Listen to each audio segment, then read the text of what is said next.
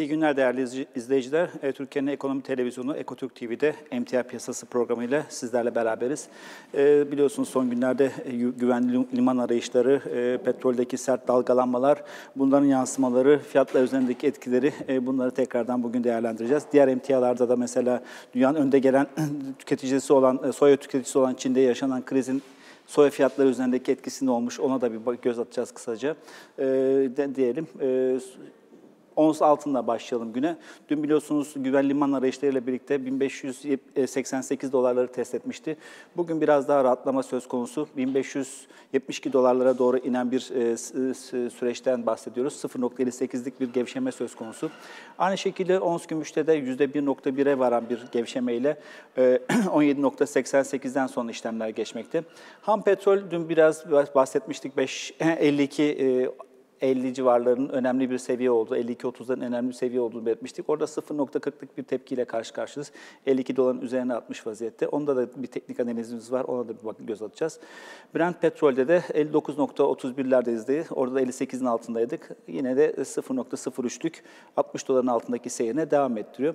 Palladium bugün %1,5'luk bir prim söz konusu. 2300 e, dolarlara kadar e, tepmiş vaziyette. Biliyorsunuz zirvesi 2584'leri kadar çıkmıştı. Oradan gelen satışlarla 2250'lere kadar geldi. Son toparlamayla birlikte 2301 dolarda. Platinyum'a bakarsak orasında da 1000 doların altındaki 1000 doların üzerinde kalıcı olamadı. Tekrardan 1000 doların altını test ediyor. Şu anda 0.22'lik düşüşte 981 dolardan son işlemler geçmekte. Ee, aynı şekilde soya fasulyesine de bakalım isterseniz. Orada da 891 doları görmekteyiz. 0.64'lük bir düşüş olduğunu e, görmekte. Aynı şekilde tekstil sektörü üzerinde de negatif etkisi olduğunu biliyoruz. Pamuk fiyatlarına da bir göz atalım isterseniz. Pamuk fiyatlarında da 69.65'i görüyoruz. 0.20'lik bir prim söz konusu. Bugün itibariyle e, JP Morgan'dan 2020 yılına ait emtia tahminleri geldi. Yıl içinde e, vadeli emtialarda fiyatlar ne olacak diye. O grafiğimize bir göz atabilirsek JP Morgan'dan gelen WTI için, Brent için, altın için ve alüminyum için Mart, Haziran, Eylül, Aralık e, vadeli e, grafikler e, de e, fiyatlamalar vardı. E, WTI ham petrol için Mart vade sonunda 62 doları, Haziran'da 55 doları, e, Eylül ayı için 63 doları ve Aralık ayında da yıl sonu içinde yaklaşık olarak e, bu grafikte bir sonraki grafiğe geçebilirsek, JP Morgan 2020 emtia tahminleri grafiği, 58 e, dolarlık bir yıl sonu tahmini olduğunu görüyoruz. Şu anda da 52 dolarlarda işlemler geçmekte. Brent petrole bakarsak orada da 67 dolarlık bir e, Mart fiyatını görüyoruz. Haziran'da 60 dolar hedefleri var. Eylül ayında 67 dolar bekliyorlar. Yıl sonu içinde Aralık ayında da 62 dolarlık bir tahmini fiyat beklentileri söz konusu. Altında da biliyorsunuz şu anda 1580'lerdeyiz. Mart sonu için, e, 1570'lerdeyiz pardon. E, Mart sonu için altında 1500 dolar, Haziran'da 1550 dolar, Eylül'de 1475 dolar, Aralık ayında içinde 1450 dolarlık bir tahminde bulunmuşlar. Aynı şekilde alüminyum içinde e, Mart ayı için 1790 dolar, Haziran ayı için 1750 dolar, e, Eylül ayı için 1 milyon 675 e, dolar ve Aralık ayı için de 1700 dolarlık tahminlerde bulunmuşlar. Şimdi bugün aynı zamanda e, Moody's'ten e, gelen bir haber vardı. E, reel faizlerin bu önümüzdeki birkaç sene için daha düşük kalabileceğini belirtiyorlardı. Bu da emtialar üzerinde olsun, e, diğer güvenli limanlar üzerinde ya da diğer piyasalar üzerine pozitif etkisinin olabileceğini göstermekte. Aynı şekilde Avrupa Merkez Bankası'ndan e, yönetim kurulu üyelerinden Yves Mersch'ten de bir açıklama vardı. Avrupa Merkez Bankası'nın ultra genişleme para politikasının varlık balonuna yol açabileceğini belirtmekteydi. Bunların yansıması e, piyasalar üzerinde tabii ki e, pozitif yansıması olacaktır. Demin bahsettiğim grafikli değerleri e, şu anda tablosal olarak e, görebilirsiniz ekranda. Bunun dışında aynı zamanda e, negatif faizli e, tahviller konusunda da son bir haftada ciddi bir e, gelişme oldu. Biliyorsunuz negatif faizli tahvillerde güvenli liman arayışı da arayan e, paranın kaçtığı noktalardan bir noktası. E, 10.8 17 e, Ocak haftasında 10.8 trilyon dolar olan e, negatif faizli tahvillerin 1, 1 e, milyar 110 1, 1, 1 trilyon 160 milyar dolarlık bir artışla 12 bin e, trilyon doların üzerine çıktı. 12.40 trilyon dolara çıktığını görmekteyiz.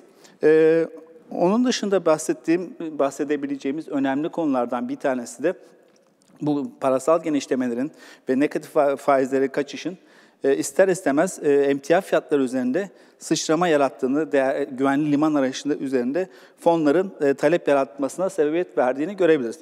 Biraz da grafiklerimize bakalım. Son olarak grafiklerde neler dönüyor oraya da bir bakalım.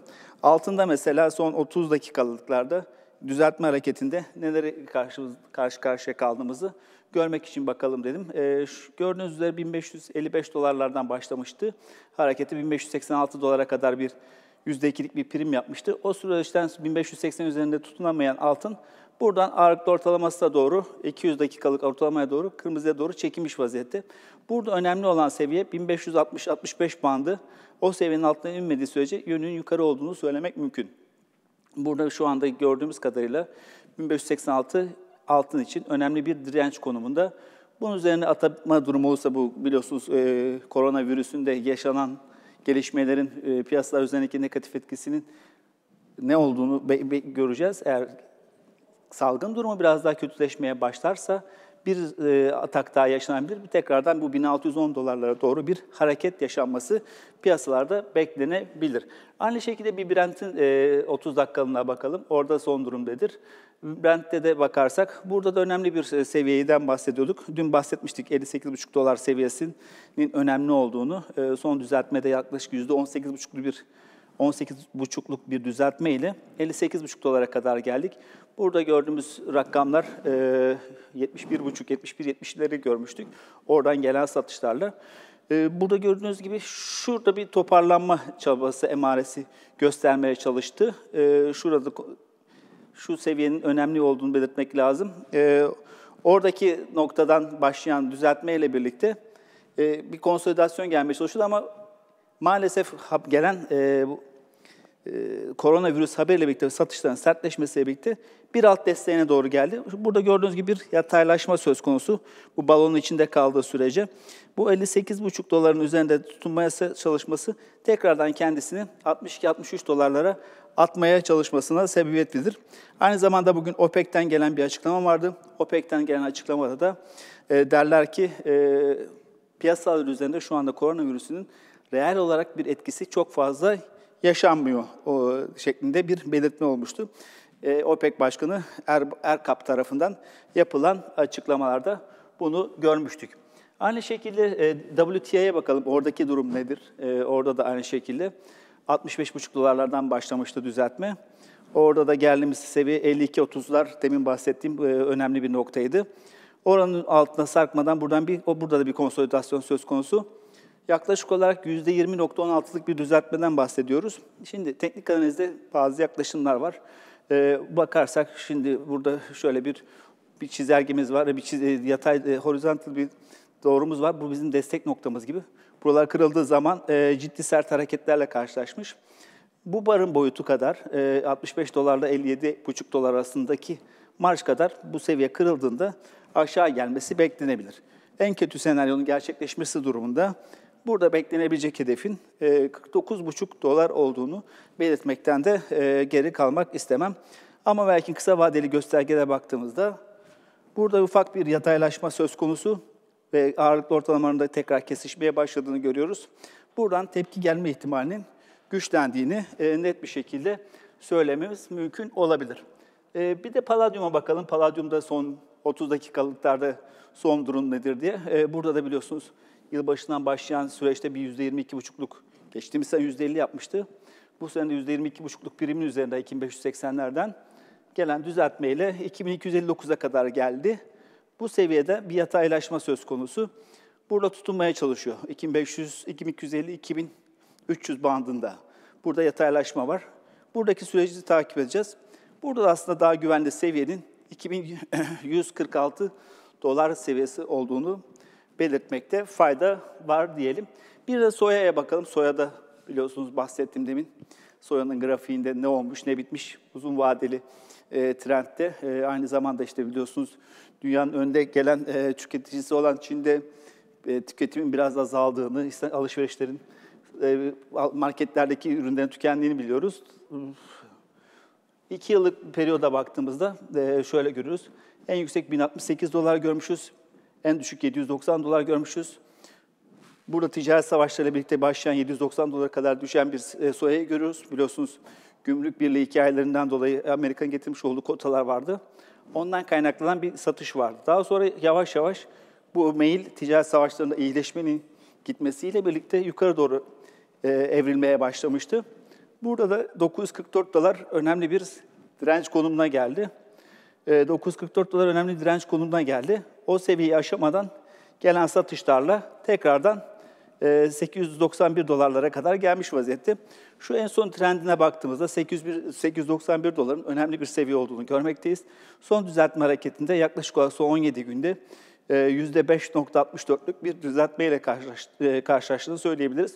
E, Amerika ile imzalanmasını belirttiğimiz süreçte e, ticaret anlaşması faz bir hikayesi olduğunda 870 dolardan başlayıp 944 dolara giden bir hareket yapmıştı. Orada da yaklaşık %8,5'luk bir prim söz konusu olmuştu. E, burada da dikkat etmemiz gereken seviye yine 890 dolarlar seviyesi diyerek e, genel olarak e, emtia piyasalarındaki görünüm üzerinde e, sizlere aydınlatmaya çalıştık diyerek yarın tekrardan sizlerle görüşmek üzere diyerek diğer analizlerle görüşmek üzere diyerek iyi günler diliyorum.